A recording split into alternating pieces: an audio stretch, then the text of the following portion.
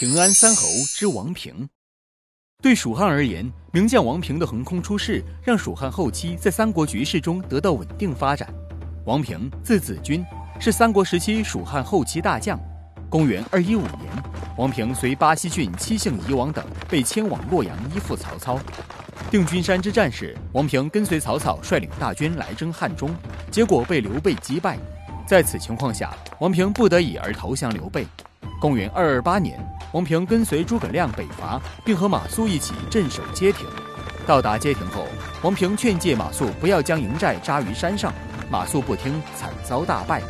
王平便带领士兵鸣鼓，让张合怀疑有伏兵，不敢进攻。后来，王平将诸营军士统一起来，率领他们平安归还。王平因为表现突出，被诸葛亮拜为参军，统领蜀汉的王牌军队，无当飞军。随后几年里，王平多次随诸葛亮北伐。诸葛亮死后，曹爽率领十万大军来攻打汉中，被王平所击退。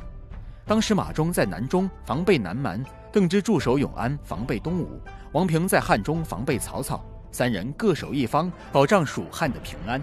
平安三侯威名始于此时。公元二四八年，王平去世，其子王逊继承了爵位。王平不仅抵挡了魏国超大规模的攻势，还守护了蜀国的和平稳定，不愧为平安三侯之一。